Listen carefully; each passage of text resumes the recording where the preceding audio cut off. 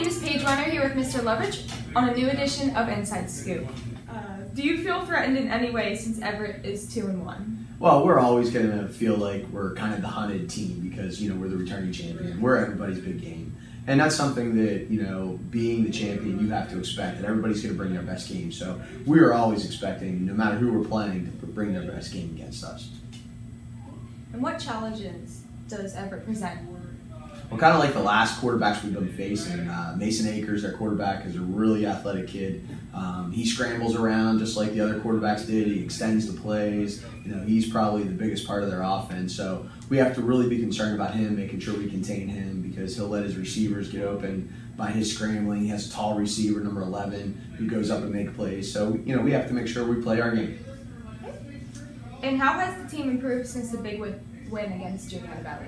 I think we've improved every day. You know, it's one of those things where we can't be satisfied with where we were last week. We have to get better every week, and I think that I've taken a lot of pride in that. That every week we've gotten a little bit better, and we can't be satisfied that hey, last week was a great game, our best game of the year. We can't say oh, this is good enough. We have to keep making sure we keep working and keep getting better. Okay. And what are your goals for the game tonight? Uh, we set our goals. You know, our goals are high. You know, we want to make sure we contain the quarterback. We want to be efficient on offense. We want to be able to uh, run and pass the ball. Um, you know, the guys have been setting the goals for us as a team, and you know, it's one of those where we're striving to reach those goals every week. So, um, you know, we want to be a goal-driven team. So that's something that we're really trying to do.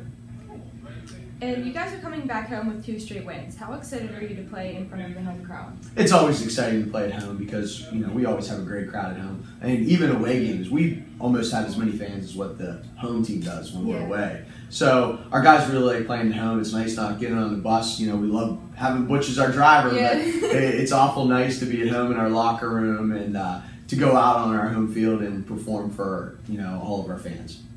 Okay, thank you. You're welcome. Now on to Kalen with lineman Evan Pellegrin. What's up, Fellow I'm Kaylin Barons, and that's Evan Pellegrin, and we're here with a feature for the Inside Scoop. So, Evan, what are some of the challenges you expect versus Everett? Uh, it's going to be containing our quarterback tonight. He's a really good quarterback. He likes to run, he likes to throw. If we can contain him, I think we do pretty well. Awesome. So, how good does it make you feel as a lineman knowing the running game is doing so well? Makes feel proud. I'm proud of me and my brothers on the line. We uh, keep it up the work, hoping to keep it up tonight. How would you assess your team's progress at this point in the season? I feel like we keep getting better and better every week, and that's our goal. Every week's goal is just to be better than we were the week before.